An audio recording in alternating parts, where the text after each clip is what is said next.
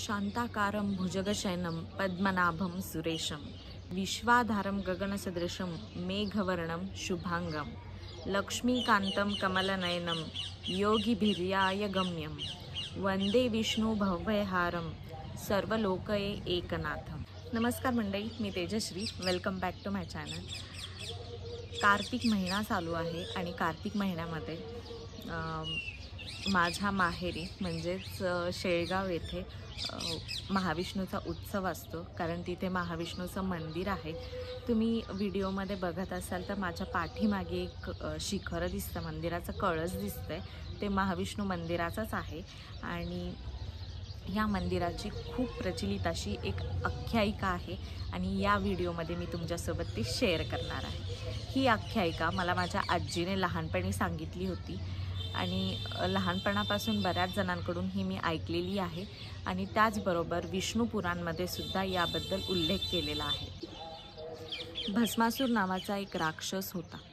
त्याने महादेवाची अनेक वर्ष तपश्चर्या केली आणि महादेवाला प्रसन्न करून घेतली. महादेव प्रसन्न झाल्यानंतर त्याने महादेवाकडून एक वर घेतला की मी अमर राहील. मला कोणीही मारू शकणार नाही. महादेव त्याच्यावर इतके प्रसन्न होते की त्याने अजून एक वर दिला. त्यांनी त्याला असा एक वर दिला तो म्हणजे हा की तू ज्या कोणाच्या डोक्यावर हात ठेवशील ती तो व्यक्ती किंवा कोणीही असेल तो तिथेच भस्म होईल. महादेव तिथेच गुप्त झाले. त्यानंतर भस्मासुरांनी तो वर पडताळून पाहण्यासाठी पृथ्वी लोकामध्ये खूप धुमाकूळ घातला. आणि पृथ्वी लोकामध्ये ज्या लोकांना त्याने भस्म केलं त्यांचं भस्म घेऊन महादेवाच्या दर्शनाला गेला. तिथे कैलास पर्वतावर म पार्वती माता आणि महादेव बसलेले असताना हा पोहोचला. त्याचं लक्ष पार्वती मातेकडे गेलं आणि तो आकर्षित झाला. आणि त्याच्या मनामध्ये असं वाटायला लागलं की जर आपण देवांवर राज्य केलं तर आपण पार्वती मातेला नक्की मिळवू शकू. त्यामुळे तो महादेवाच्याच मागे लागला. महादेवाच्या डोक्यावर हात ठेवून त्यांना भस्म करण्यासाठी तो खूप प्रवृत्त झाला होता. त्यानंतर महादेव सगळे सगळ्या देवामध्ये भीतीचं वातावरण पसरलं. कारण महादेवाने त्याला वर दिला होता की तू कुठल्याही शस्त्राने मरणार नाहीस किंवा तुला कोणीही मारू शकणार नाही तू अमर राहशील. मग सगळे देव महा महादेवाच्या भेटीला आले. महादेवांनी महादेवांना काहीच सुसेनाचं झालं. त्यानंतर महादेव महाविष्णूकडे गेले. तो दिवस म्हणजे वैकुंठ चतुर्दशी. आणि हा दिवस हरिहर भेट या नावाने ओळखला जातो. त्यामध्ये हरी म्हणजे महाविष्णू आणि हर म्हणजे महादेव या दोघांची भेट.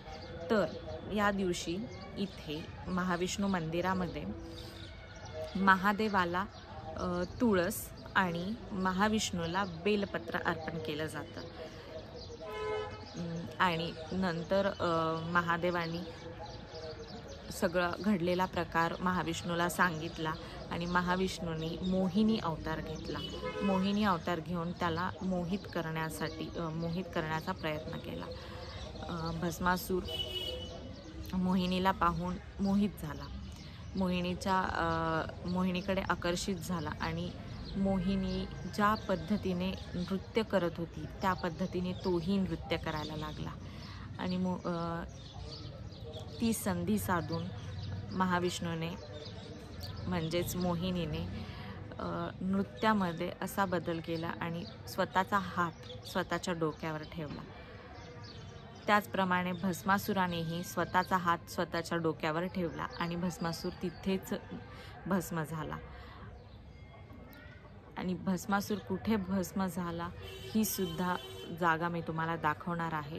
तीही याच गावा त्यानंतर महाविष्णूने मोहिनी अवतार सोडून शालिग्राम रूप धारण केले आणि ते इथे गुप्त झाले. त्यामुळे मंदिरामध्ये मुख्य गाभाऱ्यामध्ये महाविष्णूची शालिग्राम रूपी मूर्ती आहे आणि महाविष्णूची पूर्ण मूर्ती म्हणजे महाविष्णूची अजून एक मूर्ती आहे जी आत्ता काही वर्षापूर्वी तिथे स्थापन करण्यात आलेली आहे. तर ते सगळं मी तुम्हाला दाखवेलच पण तुम्हाला ही आख्यायिका कशी वाटली हे मला कमेंट करून कळवा. आणि व्हिडिओ आवडला असल्यास लाईक करायला अजिबात विसरू नका. जास्तीत जास्त लोकांपर्यंत हा व्हिडिओ शेअर करा ज्यामुळे या मंदिराचा इतिहास त्यांच्या त्यांना कळेल. आजच्या व्हिडिओमध्ये मी तुम्हाला आख्यायिका सांगितली उ यानंतर उद्याच्या व्हिडिओमध्ये तुम्हाला मी इथलं महाविष्णू मंदिराचं दर्शन घडवणार आहे. आणि त्याचबरोबर इथे पौर्णिमेला कशा पद्धतीची पूजा केली जाते तेही तुम्हाला या व्हिडिओमधून कळेल.